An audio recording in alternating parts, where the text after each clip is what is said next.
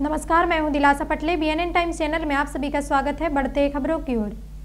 बैगांव के उत्थान के लिए जो योजनाएँ शासन प्रशासन द्वारा चलाई जा रही है, उनमें से कई ऐसी योजना है जिनका लाभ बैगा जनजाति के लोगों को नहीं मिल पा रहा है, जिसके चलते बैगा जनजाति के लोग आज भी बदहाल ज़िंदगी जीने को मजबूर है।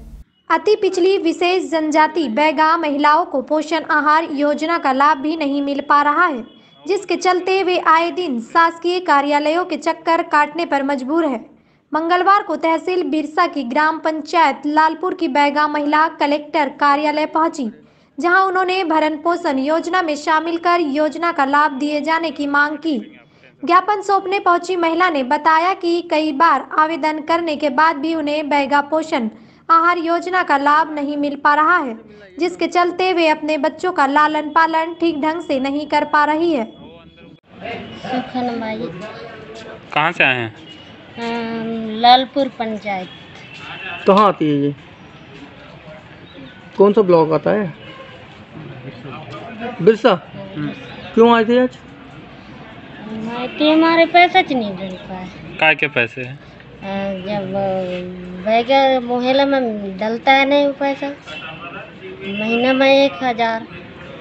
भरण पोषण के लिए जो डलता है हाँ। वो नहीं मिल रहा है आपको? हाँ। कब से नहीं मिल रहा है? शुरू से नहीं मिल रहा है। आज तक नहीं मिला? हाँ।